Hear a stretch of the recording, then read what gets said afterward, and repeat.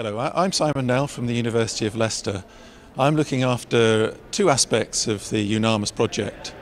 Um, the first of those is looking at objects and architecture that surround and are contained within the national museums.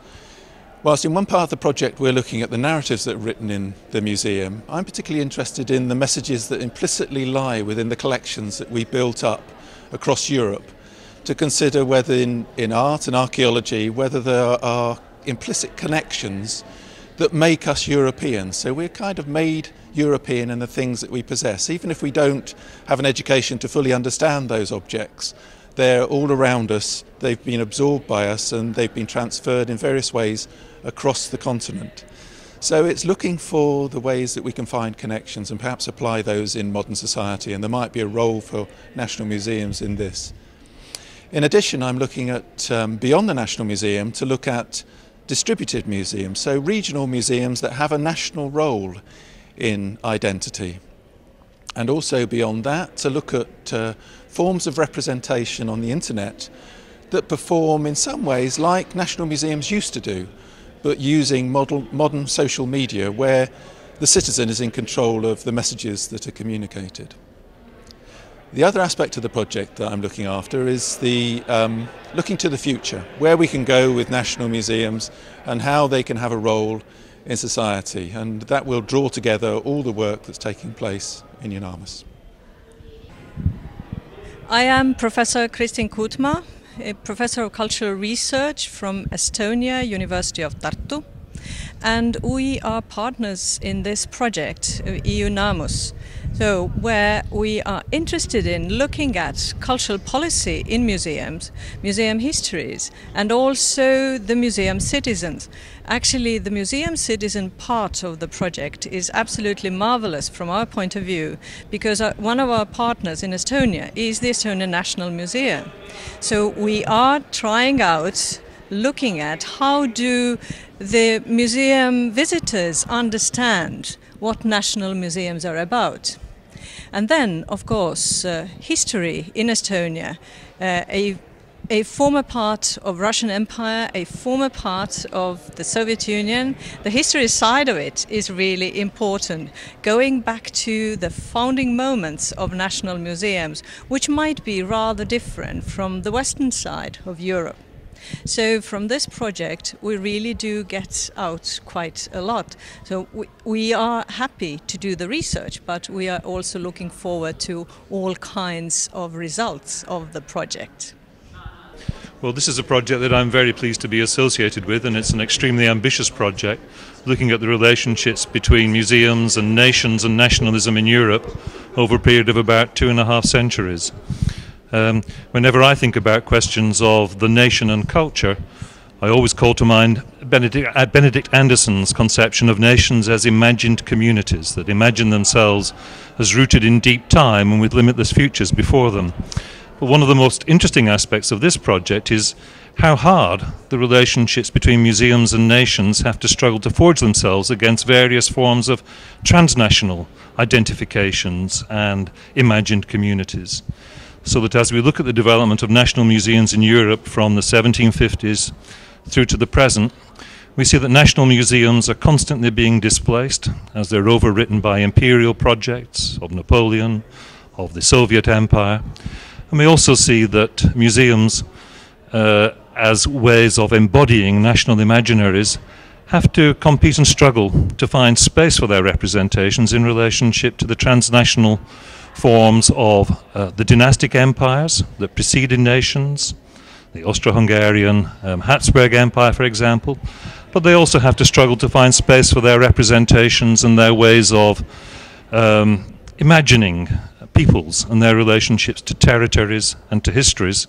They also have to struggle to find place for national conceptions of these in relationship to the transnational forms of religious imaginary communities. Questions of empire, questions of religion, questions of nation, these are constantly in competition with one another in the history that informs the development of Europe's present day national museums.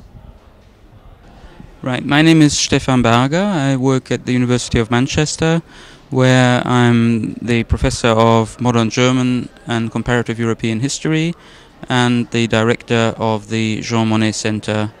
Um, and I have been directing between 2003 and 2008 a European Science Foundation program entitled uh, The Writing of National Histories in Modern Europe in the 19th and 20th Centuries um, which was um, a a la carte program in which about 250 scholars from more than 20 European countries participated.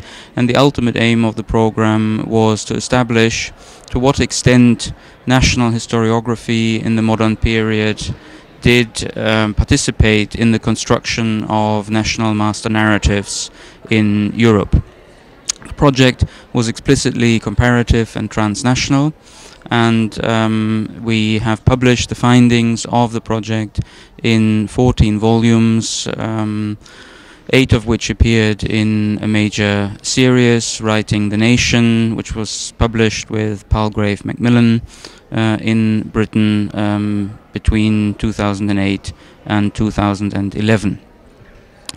When this project, the EUNAMUS project, started, National Museums in Europe, uh, Peter Aronsson, the director of the project, asked me to sit on the steering committee of uh, EUNAMUS and um, the advisory board of EUNAMUS, and um, I've gladly agreed to do so because national museums, just like national historiographies, played a major role in, first of all, elaborating and then also developing the national master narratives in different European states during the 19th and the 20th centuries.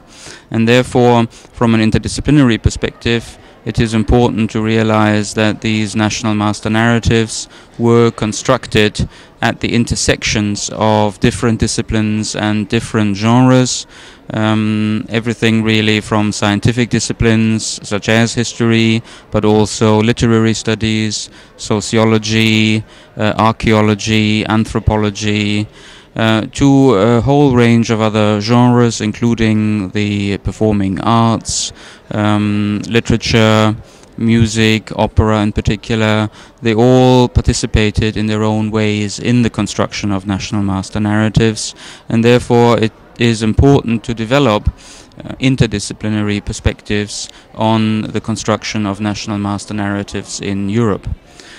This examination of national museums in Europe is a major milestone on the road to constructing those interdisciplinary perspectives. Uh, it is very gratifying to see um, how the different national perspectives are brought together in the project and how we can, on the basis of those different national perspectives, develop uh, cross national comparisons and transnational perspectives on the way in which these national museums operated.